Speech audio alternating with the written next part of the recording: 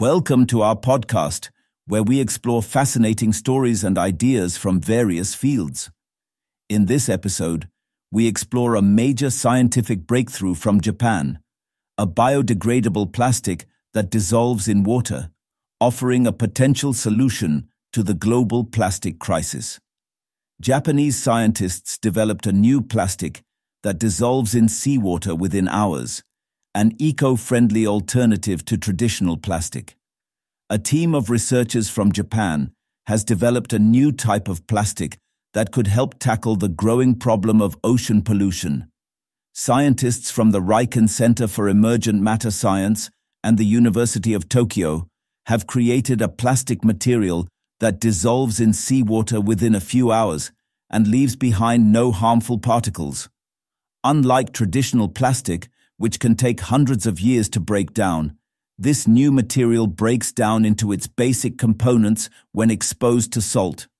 These components are then processed by bacteria in water, producing no microplastic or nanoplastic waste. The researchers demonstrated the plastic's behavior in a lab in Wako City near Tokyo. In the experiment, the material was placed in salt water and dissolved in around one hour. The same process would take about 200 hours if buried in salty soil. The material is also reported to be non-toxic, fire-resistant, and does not release carbon dioxide during breakdown. Although it is not yet ready for commercial use, scientists are working on a coating method that could make the plastic suitable for everyday packaging. Project leader Takuzo Aida mentioned that the new material has already gained interest from companies in the packaging sector due to its environmental potential. According to the United Nations Environment Programme, plastic waste in oceans is expected to triple by 2040, reaching between 23 and 37 million tons annually. This growing concern has pushed researchers to find sustainable alternatives.